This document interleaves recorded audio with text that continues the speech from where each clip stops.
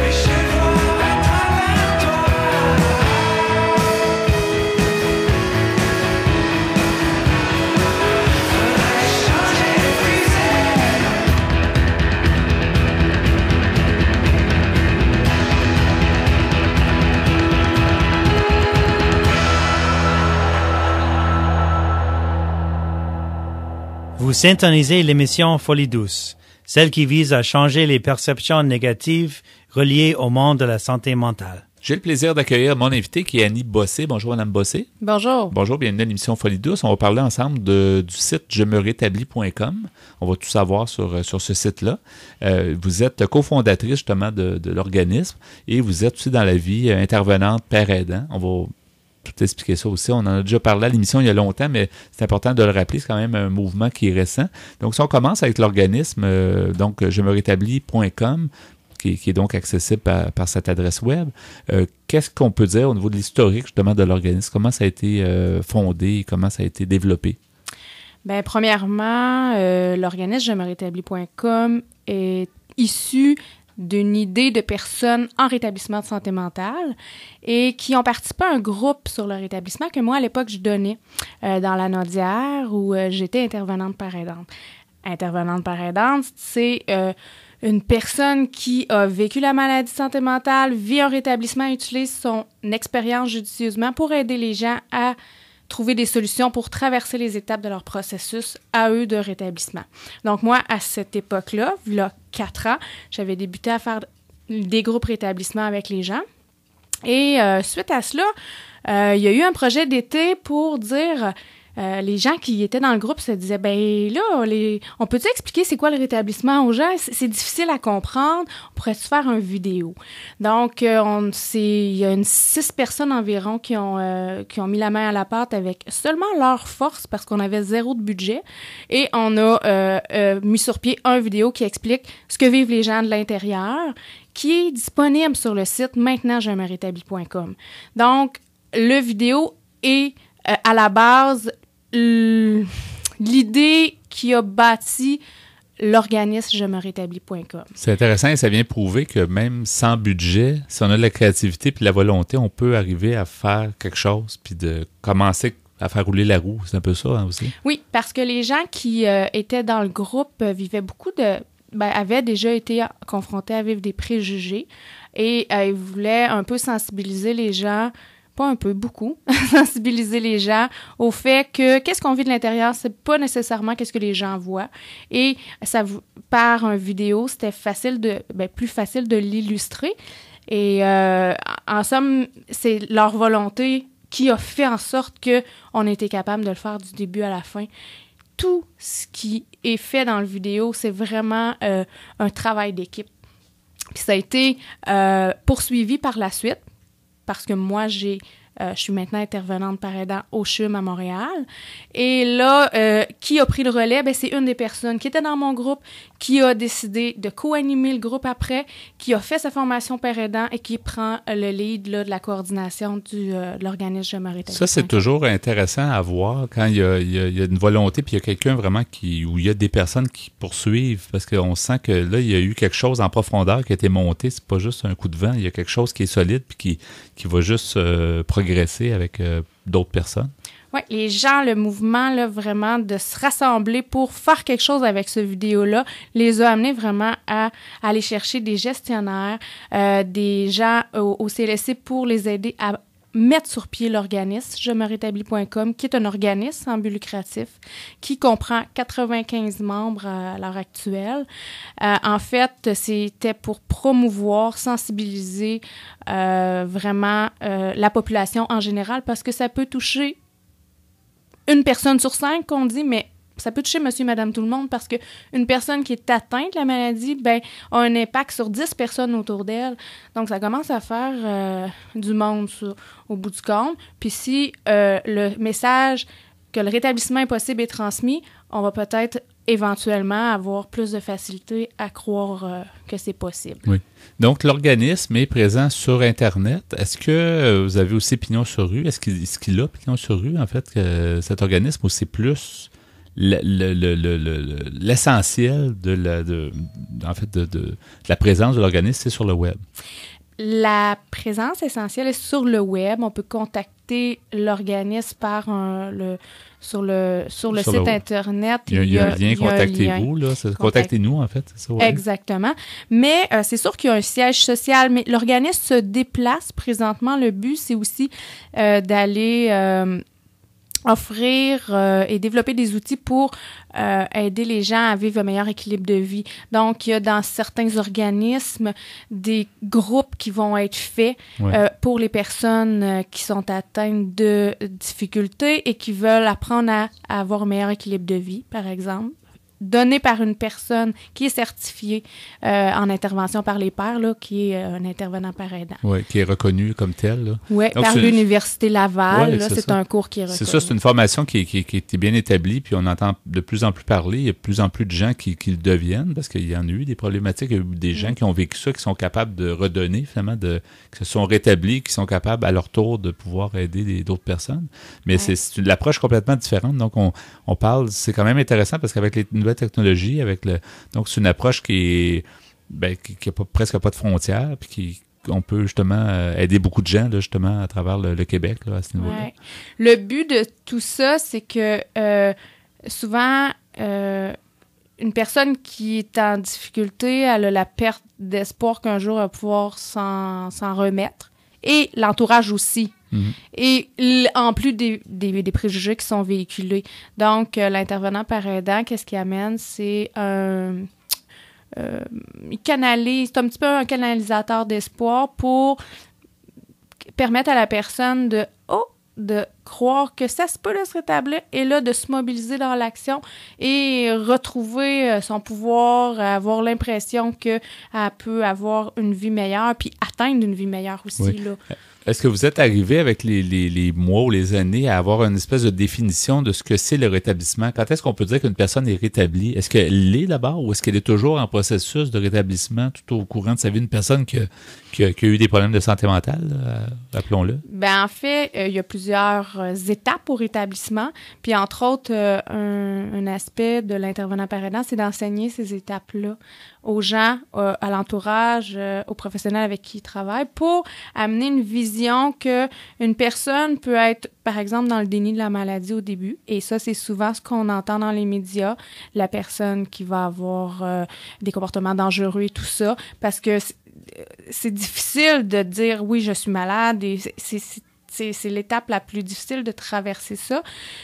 Et c'est ça qu'on voit le plus. Mais la deuxième étape où euh, il peut avoir un traitement, mais la, personne elle prend peut-être la médication, mais elle se sent limitée. Elle sent que sa vie euh, sera pas vraiment mieux. Euh, elle l'impression de ne pas avoir assez d'énergie. Fait que c'est vraiment la vie est limitée en deuxième étape. Et le challenge, c'est d'avoir l'espoir pour traverser l'autre étape vers OK, oui, ça se peut que je me rétablisse. C'est pour finalement s'engager dans l'action et là, reprendre le pouvoir et comme monsieur, madame, tout le monde, euh, avoir des hauts et des bas, mais euh, d'aller chercher le support, puis d'être de plus en plus dans, le, le- la- l'autonomie personnelle. Mais déjà, de, de, spécifier que des étapes, ça, ça a l'air très simple, mais c'est effectivement, si on le comprend, on comprend que du jour au lendemain, on peut pas se rétablir et on peut pas tout à coup devenir bien euh, comme ça en cliquant des, en claquant des doigts. Donc, c'est juste en, in- en intégrant ça dans la, pensée des gens, déjà, ça donne. Il y a quelque chose de constructif, il y a quelque chose de, positif jusqu'à un certain point. On se dit, si on fait des étapes, ben, on va finir par. euh, on peut y arriver, on peut. euh, puis les exemples concrets, c'est justement les pères aidants. C'est ça la, la beauté de ce mouvement-là, là, de, de dire, je m'en suis sorti, donc toi, tu es capable aussi. C'est un peu ça. Oui, puis c'est c'est comme moi, qu'est-ce que je crois, c'est que c'est une maladie comme un autre. Euh, J'ai eu un copain qui est décédé du cancer et puis euh, on, on en jasait. Euh, dans le fond, c'est aussi courageux de se relever des deux maladies, sinon que quand tu as une maladie de santé mentale, en plus tu vis les préjugés. Oui. Tandis que le cancer, il y a beaucoup d'encouragement quand même qui est là autour. Puis on en parlait beaucoup quand, quand il était encore en vie. Et euh, on, aurait aimé faire des témoignages pour démystifier les deux. C'est une maladie comme un autre, mais en plus avec le challenge d'avoir euh, les préjugés assumés. Savez-vous, euh, vous êtes-vous posé la question, vous êtes quand même dans le domaine depuis un bout de temps, Mme Bossé, donc qu'est-ce qui fait qu'on on n'arrive pas à percer cette espèce de, barrière, de tabou, de dire ben pourquoi les gens n'ont pas d'empathie avec une personne qui a des problèmes de santé mentale alors qu'elle en a avec une personne qui a des problèmes de santé physique? C'est difficile à percer, puis on a encore ce problématique-là, encore euh, au moment où on se parle. Ben, c'est parce que c'est le vécu intérieur. La maladie de santé mentale, c'est vécu de l'intérieur, on le voit pas. C'est des perceptions, c'est des émotions qui se bousculent, puis qui font que ça fait une, une espèce de l'image, une tornade intérieure qui font que la personne est envahie par ça par différents symptômes, que ça soit d'entendre des voix, l'anxiété, bon, différentes choses, mais l'image, c'est vraiment une tornade intérieure qui fait que euh, c'est très difficile d'être fonctionnel dans les aspects de sa vie. Puis, euh, quand on parle de maladies comme cancer, diabète et tout ça, on peut le voir. On Mhm. peut avoir un test qui... Tandis que là, il n'y a pas de test. C'est par euh, qu'est-ce que dit la personne qu'on va essayer de voir quel médicament qui pourrait être bien pour cette personne-là. C'est selon ses comportements, ses symptômes qu'elle présente. Oui. Donc, c'est c'est un peu ça la, la difficulté. Et la personne n'est plus elle-même, souvent, c'est ça qui arrive en- dans, dans un côté de santé physique. La personne, on lui parle, puis c'est la même personne, mais quand, quand une, quand une personne a des problèmes de santé mentale, c'est peut-être un, un peu d'explication de, de la problématique, mais la personne, des fois, est plus elle-même, puis on la, on la reconnaît plus. Mm. Donc, C'est peut-être pour ça que les gens ont comme peur ou ont comme euh, euh, ont pas tendance à vouloir être empathiques. Ils, ils savent pas trop, ils ont comme des drôles de, d'émotions, en fait, envers cette personne-là. C'est peut-être une, une des raisons. Ben, premièrement, qu'est-ce qu'on entend dans les médias, c'est que les gens sont dangereux souvent.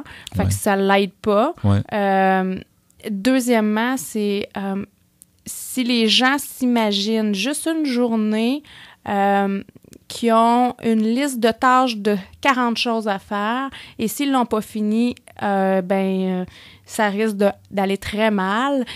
Ben là, c'est le stress que ça a. engen- Cette, cette situation-là engendre un gros stress.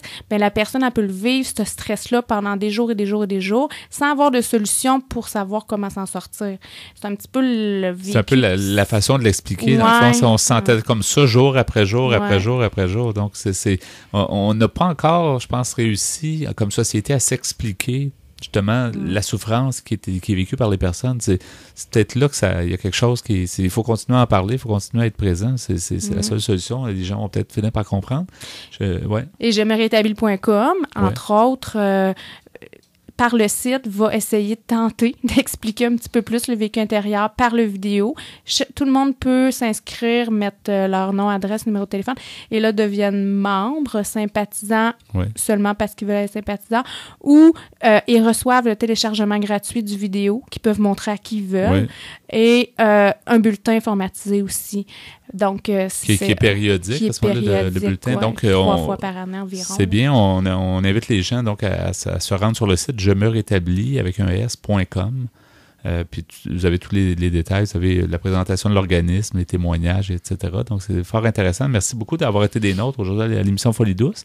Puis bonne continuité dans votre, dans votre travail au CHUM euh, à Montréal. Ben, merci beaucoup de m'avoir invité. Et longue vie à l'organisme aussi, je me rétablis.com. Donc merci Madame Annie Bossé d'avoir été des nôtres. Merci beaucoup. Bonne journée. Bonne journée.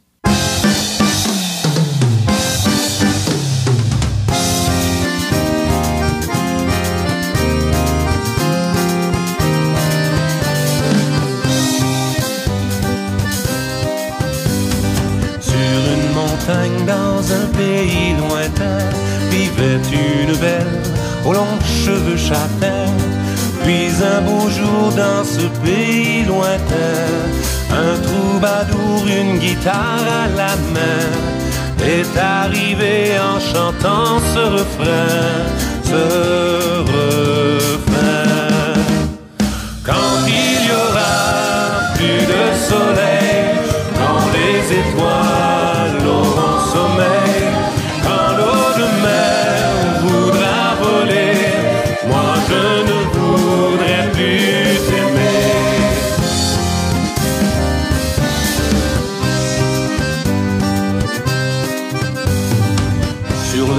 un jour il est allé Devinez donc ce qu'il a pu trouver. La belle châtaigne assise sur un rocher Il a voulu tout de suite l'épouser. Et d'une voix douce il se mit à chanter À chanter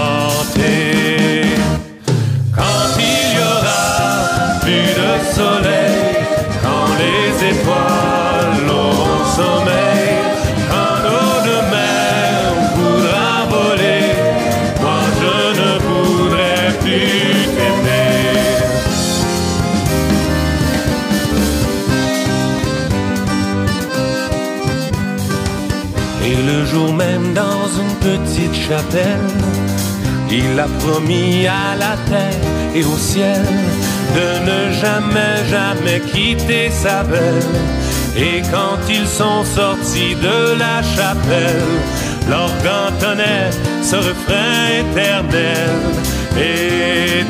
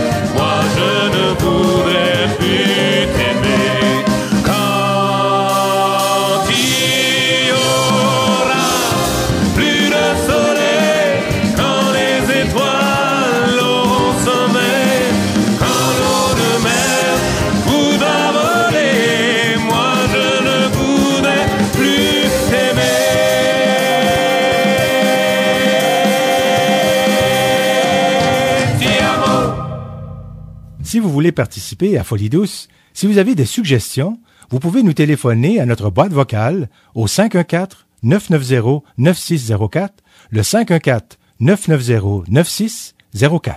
C'est avec plaisir que nous vous proposons le bloc Espresso. Bonjour Pierre Laporte. Salut Yvan. Bonjour Justin Malo. Bonjour. Alors Pierre, aujourd'hui, euh, tu, tu y vas un petit peu dans le dans autre chose, dans quelque chose qui a du goût. Donc Ouais. le, le sucre, drogue légale, c'est Oui. une drogue, ça. Oui, oui, oui, certainement que c'est une drogue parce que, Puis une des plus difficiles à se débarrasser. ben en fait, euh, toutes les drogues sont difficiles à se débarrasser parce que les drogues, par définition, créent une accoutumance. Une dépendance. Une dépendance. ouais. En anglais, on dit addiction.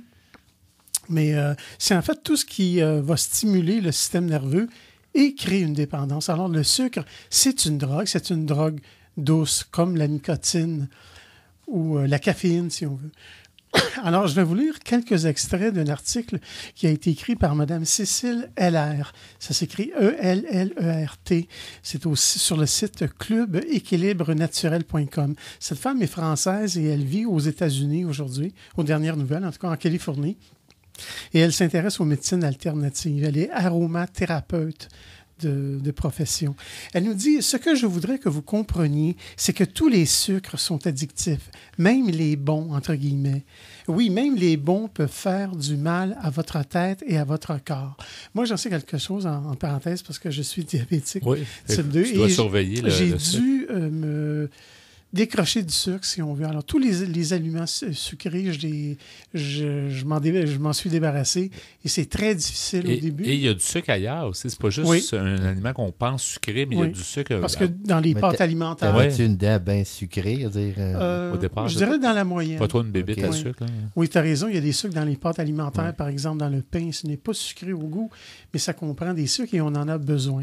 Mais je continue l'article. Elle nous dit, en fait, de plus en plus de preuves issues d'enquêtes visant à démontrer cette addiction nous le disent aussi, le sucre ajouté que l'on est incité à consommer sous des formes si variées est aussi addictif que la nicotine, l'alcool ou la cocaïne. Et de même que pour les drogues illicites, vous avez besoin de votre dose pour calmer un besoin chimique. C'est pour cela que dès que vous tentez d'éliminer le sucre de votre vie pour un jour ou deux, votre productivité s'étiole, l'inspiration diminue, votre morale baisse. Alors ça affecte le mental.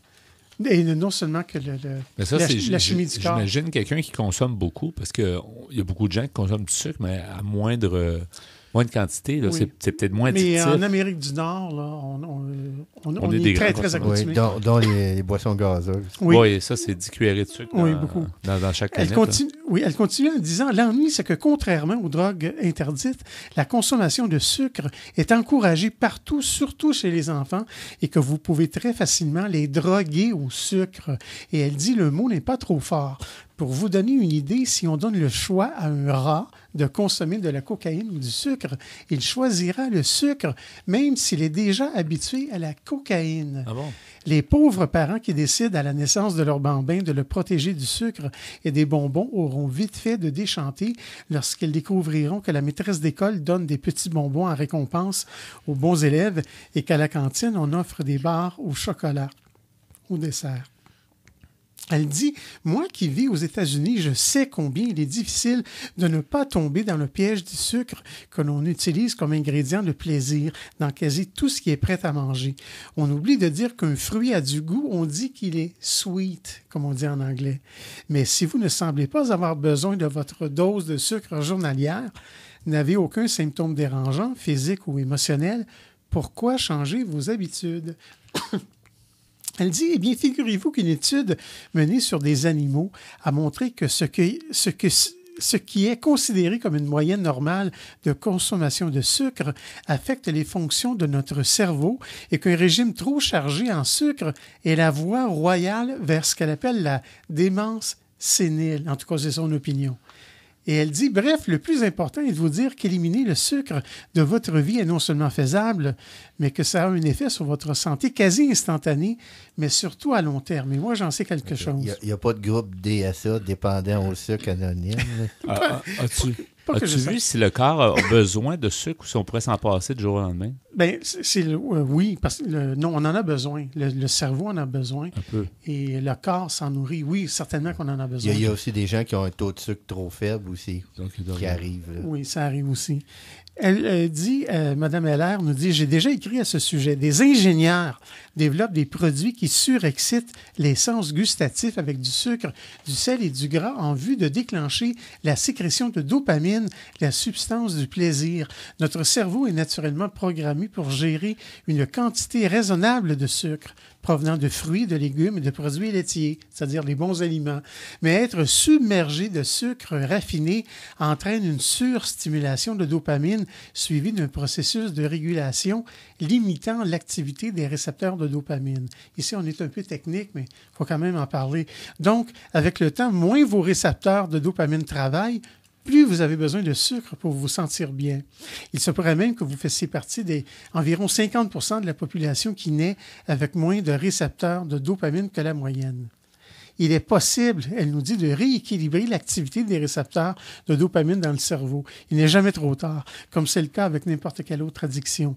Le processus de rééquilibrage s'amorce dès que vous cessez de consommer du sucre elle nous dit, après un mois sans sucre, on redécouvre le goût des aliments. On identifie le sucre là où on ne l'aurait jamais goûté avant. On se surprend à ne plus être attiré par les mêmes aliments, par l'alcool. Par la nicotine, c'est la même chose. Et si après plusieurs mois, on tente de manger une cuillère de crème glacée ou un morceau de gâteau bien sucré, on se rend compte qu'on ne peut plus le supporter et que c'est au-dessus de notre niveau de tolérance au sucre. Ben voilà, c'est très intéressant. On va poursuivre plus tard à l'émission dans l'espresso allongé, n'est-ce pas. Pierre? Donc, le sucre, drogue légale, vous l'avez appris ici à Folie Douce, demeurer des nôtres.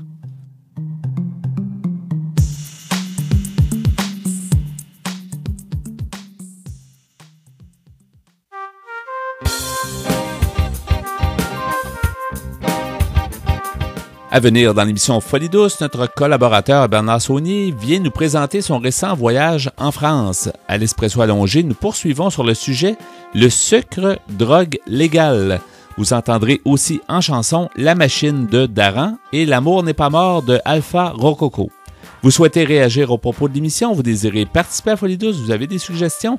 Écrivez-nous par courriel à l'adresse foliedouce.antenne.qc.ca ou téléphonez-nous au 514 990 9604. Vous écoutez Folie douce, l'émission hebdomadaire qui démystifie les problématiques de santé mentale depuis plus de 20 ans.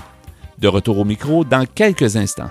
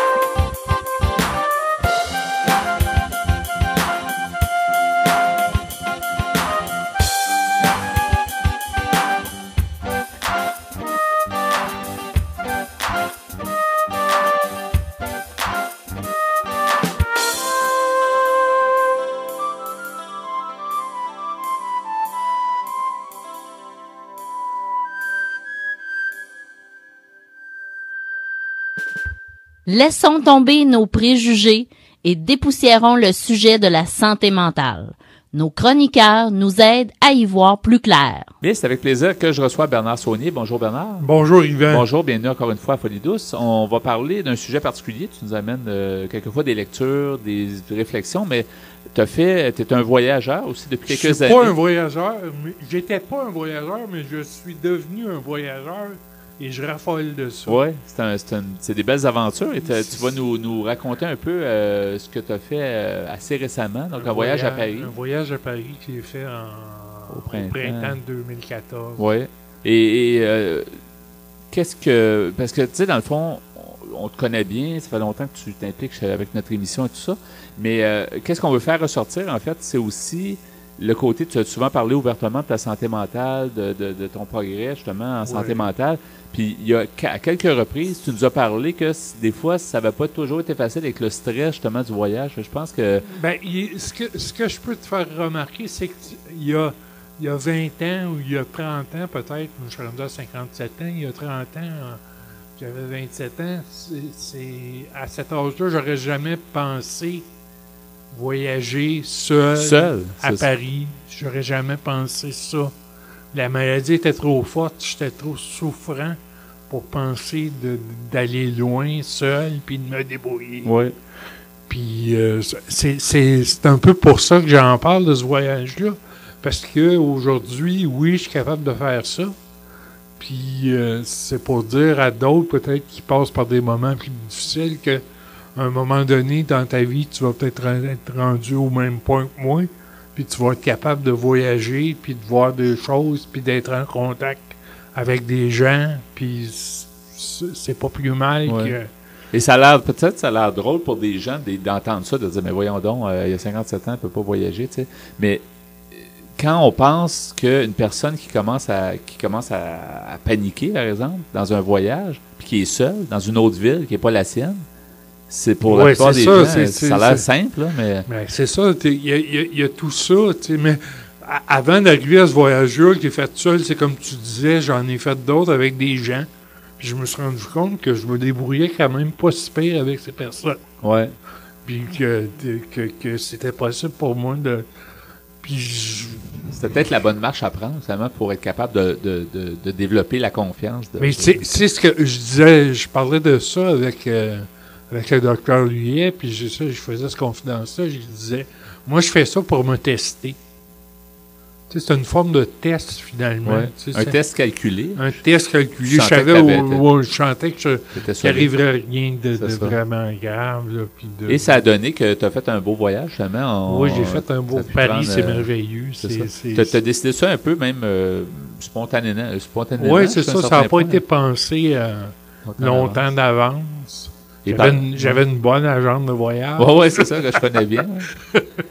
Puis, euh, ben, c'est ça. j'ai- j'ai- Ça s'est bien passé, puis c'était pour Paris. deux semaines, je pense. en Deux fait, semaines à Paris. oui, c'est Et, qu'est-ce que tu peux nous dire, justement, euh, sur le, le voyage, sur ce que tu t'es... Je pense que tu t'es beaucoup nourri aussi, de, culturellement parlant. euh, Culturellement, euh, par- euh, je peux vous parler, un, ben, je suis pas un critique d'art, mais j'ai j'ai visité l'exposition à- au musée du Quai d'Orsay, l'exposition Van Gogh Artaud, où j'ai où, on- où euh, Artaud parle de Van Gogh comme étant le suicidé de la société. C'est un non-texte de Van Gogh. Puis j'ai appris là que Van Gogh, euh, que Artaud euh, aussi était aussi une vedette de, de cinéma. C'est quelqu'un qui a fait beaucoup de cinéma, Artaud. Puis ça, je savais pas ça. Puis qu'est-ce qu'il y avait aussi? Les impressionnistes, c'est impressionnant, c'est le cas de le dire. Ouais. De voir des toiles impressionnistes, là, c'est pas des reproductions, c'est des vraies toiles. C'est assez euh, touchant, merci. Quand on sait l'histoire de, de, de, de ce monsieur-là qui était Van Gogh, euh, c'était... c'est- Tu dis... qui est très connu pour son art, mais qui est connu aussi pour le, De côté son de santé mentale. De son euh. vivant, il n'a pas réussi à, à vivre de ça. Puis aujourd'hui, ses toiles valent des fortunes. Ça- Il y a quelqu'un qui me posait cette question-là. Il dit Pourquoi ces toiles valent si cher? Ben là. C'est quelque chose qui touche les gens. Ça touche les gens. puis Ça, il y a, c'est- il y a- il y a- on- je sais pas si, si on peut dire ça comme ça, mais il a inventé une façon de peindre, une manière, un style impressionniste. C'est une école, puis c'est un des, des, des premiers à avoir cette méthode-là. Ouais. Ça, ça c'est- ça, ça, c'est une chose que j'ai vue à Paris. Moi, ce que j'ai aimé faire aussi, c'est marcher dans les rues de Paris. On peut se perdre dans Paris, mais c'est... c'est- On peut aussi à- découvrir des coins. c'est ça, comme je suis allé au- euh, un endroit que je pensais pas aller, je suis allé à, à, à l'impasse, euh, ça s'appelle l'impasse Anne Frank.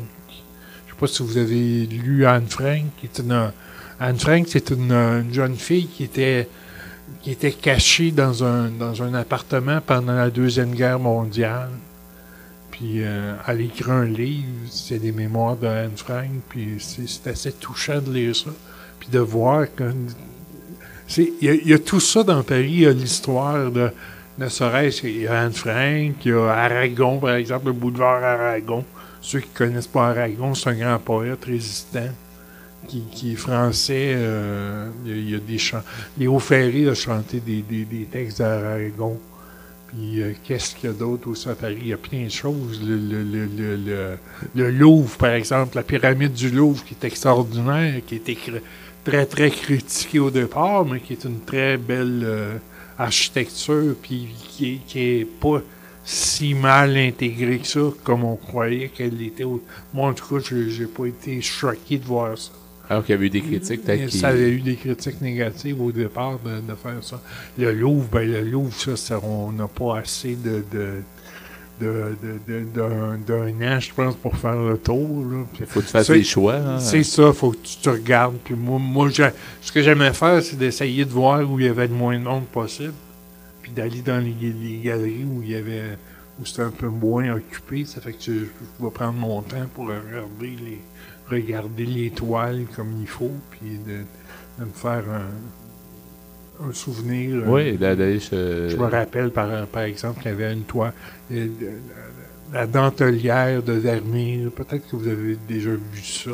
C'est une dentelière, quelqu'un qui fait de la dentelle. Un petit- je pensais que c'était une toile, une grande toile. C'est une toute petite toile.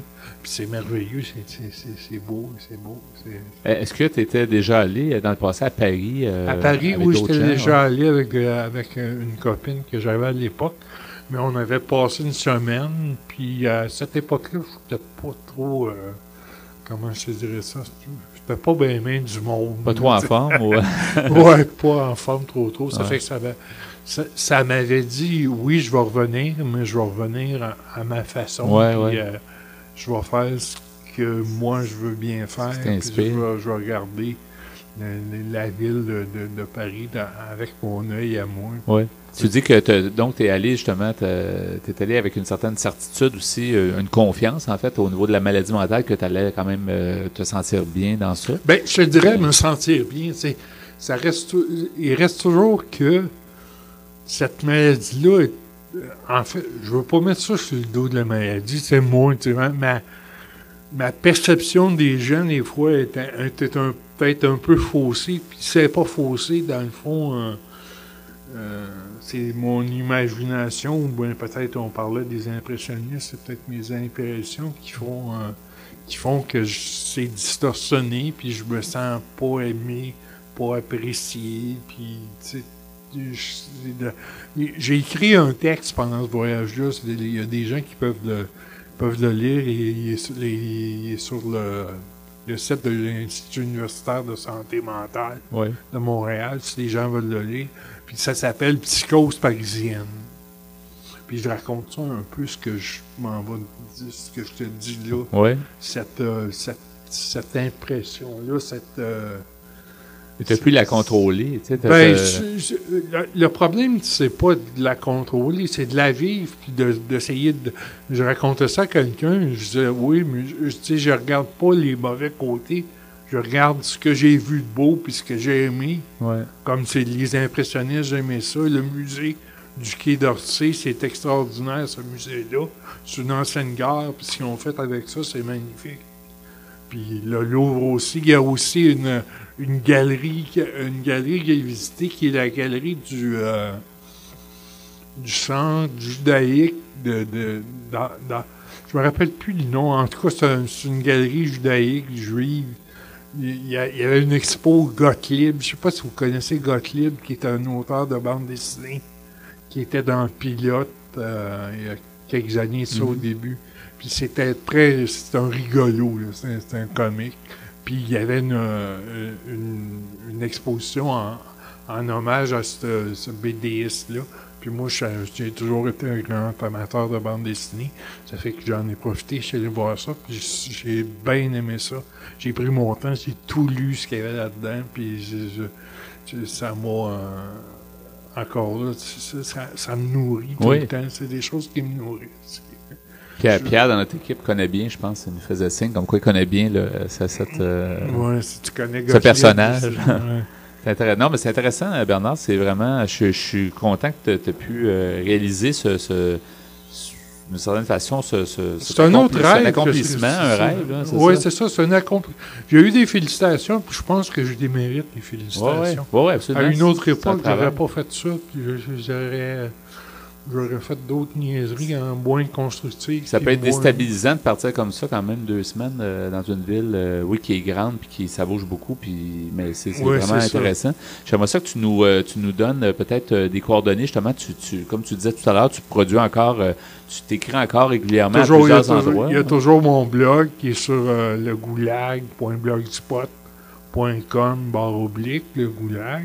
Tu as pris des excellentes photos d'ailleurs. Je sais pas si tu les as toutes publiées sur euh, ou beaucoup. Tu t'en as Sur, euh, oui, je suis sur Euh, Facebook. Ah, tu les as vues des photos? Oui, il y en a sur- beaucoup de très belles photos sur Ouais, Facebook. Sur de- de- de ton Facebook, oui, c'est- c'est- ils peuvent, euh, je pense qu'il y a moyen d'y trouver, je sais pas trop comment. En, en cherchant ton nom. Bernard Saunier, vous allez dans les albums, il c'est être là, ça, il est sûrement là. Ouais. Puis quoi d'autre? euh, Sur, euh, sur euh, le, le site de l'in- l'Institut. Le site de l'Institut, ben, il y a ce texte-là qui s'appelle Psychose parisienne. est- toujours des, des chroniques euh, culturelles, des Toujours, humeurs là, culturelles? je- j'ai toujours, c'est c'est toujours dans le cadre des humeurs culturelles. Ouais. Les gens- Il y a des gens qui m'ont lu puis ils m'ont dit on sent, avec ce, ce, ce texte-là, on sent bien ton, ton humeur. Puis- Ben, le titre est punché, tu sais. psy- comment tu dis ça? Psychose à Paris? Euh, Psychose parisienne. Il y, a- il y a quelque chose d'intéressant. Ça, ça donne le goût de le lire.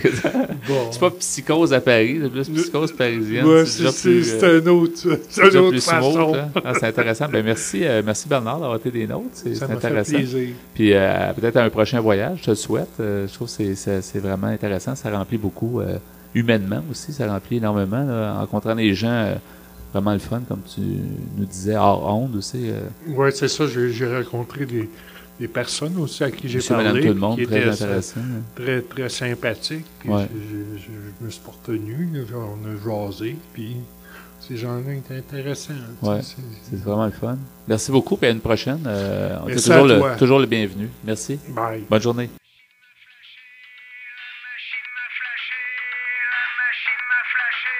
La machine m'a flashé, la machine n'aime pas la vitesse. Elle m'envoie vite un courrier, la machine connaît mon adresse. La machine veille sur moi, me guide par satellite. Elle m'attrape par le bras et me ramène où j'habite. Rue de la télésurveillance, quand je sors mon Fox Terrier,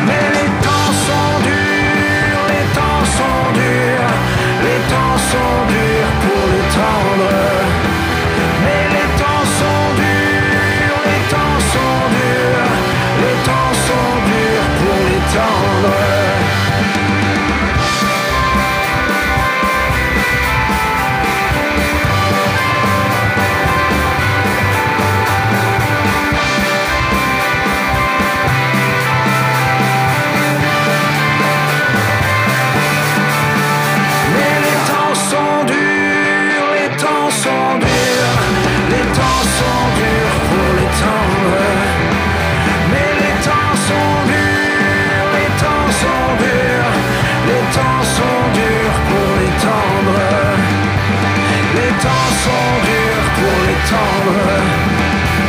Les temps sont durs pour les tendres. Vous voulez mieux nous connaître et communiquer avec nous? Visitez notre site internet au www.antenne.qc.ca. Antenne.qc.ca. C'est maintenant le temps de l'espresso allongé. On poursuit sur le sujet le sucre, drogue légale que tu as amorcé, Oui. plus tôt. Comme dirait le grand philosophe québécois, le chanteur Ingo Rinfret, drogue, non, non, non. Je me, je me- je me demandais, euh, je me demandais, Pierre, tu as parlé au début là, que c'était difficile justement de, de, de retirer le sucre quand les enfants consomment ça, mais y a-tu quelque chose que tu as lu sur le fait que les enfants sont tellement attirés vers le sucre? Vous direz que c'est comme plus fort même que chez les adultes. Je sais pas si Oui, c'est très difficile, mais tu, tu vas voir, je, je vais t'en parler un peu. Je, euh, avec l'article euh, qui suit, c'est un article par Mme Hélène Baribeau sur le site Internet ben, qui porte son nom, hélènebaribeau.com. Elle est diététiste nutritionniste. Et elle dit des scientifiques de l'Université de Californie ont affirmé dernièrement dans la prestigieuse euh, revue Na- Nature que le sucre était néfaste pour la santé au même titre que les substances très contrôlées et dangereuses comme l'alcool ou, ou le tabac, comme j'en parlais euh, tantôt. Ils ajoutent qu'ils devraient donc également faire l'objet d'une législation. En effet, les quatre critères justifiant la législation sur la consommation d'alcool semblent aussi s'appliquer en cas de sucre. Et ces quatre critères sont le potentiel d'abus, l'effet de dépendance, euh, le fait que ce soit difficile à éviter, hein, on, on- on retrouve le sucre partout, et quatrièmement, les impacts négatifs sur la santé et les coûts Oui. sociaux. Puis il y a, il y a du sucre dans l'alcool, dans la bière. Ben, ça, ça crée Oui. du sucre, je pense. quand Oui, tu- ça, ça se transforme ça en se sucre dans en le sang. sucre, oui. ouais. Et ces chercheurs proposent au gouvernement de taxer, imaginez, les sucreries et d'interdire la vente d'aliments et de boissons sucrées aux plus jeunes dans les dépanneurs et épiceries qui sont notamment situés souvent à proximité des écoles. Ils ajoutent que le fructose, c'est-à-dire le sucre tiré du sirop de maïs, devrait être interdit dans l'industrie alimentaire à cause de ses effets dévastateurs encore plus importants sur l'organisme que le saccharose, qui est, de, qui est le, le sucre blanc qu'on Ouais. connaît.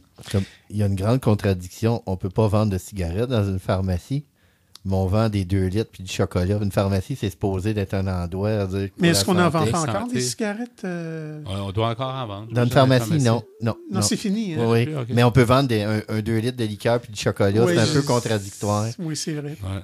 Et en tout cas, euh, Mme euh, Baribeau continue en disant des études ont démontré qu'une surconsommation de fructose par rapport au glucose était associée à une augmentation de l'obésité viscérale, à un accroissement de la quantité de gras stocké dans le foie, ainsi qu'à une recrudescence de la production de gras dans le système circulatoire après le repas. Ce fructose libre se retrouve même dans de bons aliments comme le pain de gré entier, alors qu'il est concentré dans les boissons sucrées et les pâtisseries commerciales. En effet, le sucre est partout, même dans les céréales les plus riches en fibres, de même que dans le pain multigrain. Elle nous dit, quant aux coûts sociaux découlant de la surconsommation de sucre, il ne faut pas être alarmiste, car contrairement à l'alcool, par exemple, on ne fait pas d'accident de la route parce qu'on a mangé trop de sucre. Cependant, il est vrai que les risques de maladies en découlant, comme l'obésité ou les troubles cardiovasculaires, etc., ont un coût social non négligeable, et ce, au même titre que la surconsommation de sel, de gras et l'excès de calories en général. Et elle termine en disant, Quant à limiter les ventes d'aliments sucrés aux jeunes du réseau scolaire, c'est déjà fait au Québec depuis 2007.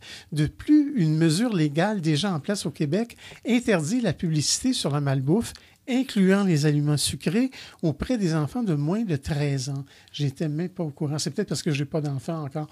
Et en France, la taxe qu'on appelle la taxe soda, ou la taxe, si vous voulez, sur les boissons sucrées, est entrée en vigueur le 1er janvier 2012. Ah bon? Et on a deux minutes. Je vous lis un autre extrait d'un autre article qui est par M. euh, J.B. Rive, R-I-V-E-S, sur le site euh, www.fasting. Il nous dit de plus en plus l'idée que le sucre est, une addiction comme une autre, au même titre que l'alcool ou les drogues dures, fait son, son chemin. De 5 kilos par personne par an, en 1850, on est passé à 35 kilos aujourd'hui, soit près de 100 grammes par jour. Et une étude menée à Harvard en juin 2013 euh, est un modèle de rigueur et de démonstration. Les patients étaient séparés en deux groupes tests dans un environnement médical contrôlé sans savoir quel milkshake leur était donné. Quelques heures après, chaque participant fait un test sanguin et un scan de cerveau. Sans exception, la différence entre les deux milkshakes était flagrante. Une explosion du taux de sucre dans le sang, comme prévu, mais également un sentiment de faim et une envie de plus de sucre encore. Les scans du cerveau montrent tous une activité forte dans la région du cerveau responsable des addictions. On en retire deux choses clés. D'une part, même si les macronutriments, c'est- c'est-à-dire les glucides, les lipides et les protéines, et le nombre de calo- calories sont identiques dans les deux breuvages, la réaction du cerveau va varier en fonction de l'index glycémique uniquement. D'autre part, les aliments qui augmentent la glycémie sont physiquement addictifs. Et en plus, ils vous donnent faim. Ça veut dire que vous ne pouvez pas compter sur votre volonté, mais prendre simplement de bonnes habitudes tous les jours. Et comment sait-on si on est dépendant? Premièrement, on grignote sans vraiment avoir faim. Deuxièmement, ça nous angoisse de, passer, de se passer de certains aliments. Troisièmement, on se sent fatigué de trop manger. Quatrièmement, on a des problèmes de santé. Et cinquièmement, on doit, on doit toujours manger de plus grandes et de plus grandes quantités. Intéressant, bonnes informations. Donc, faites attention au sucre et on reviendra peut-être. C'est c'est un sujet qui est tellement important. Merci beaucoup, Pierre. Merci beaucoup, Chelin. Merci. On continue en musique.